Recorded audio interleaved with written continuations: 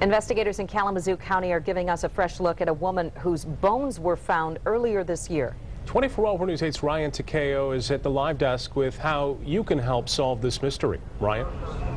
Brian and Sue, in April, investigators found bones in Comstock, Comstock Township. Today, investigators released a sketch of what that woman might have looked like. Uh, take a look and see if you recognize her. These pictures were put together by MSU's anthropology department using facial reconstruction.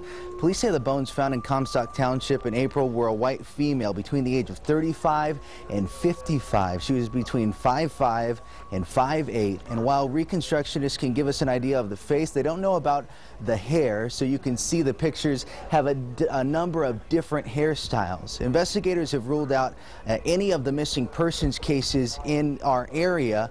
But if you do have an idea of who this may be, you're asked to call the Kalamazoo County Sheriff's Department or Silent Observer. We're at the live desk. Ryan Takeo, 24 Hour News 8.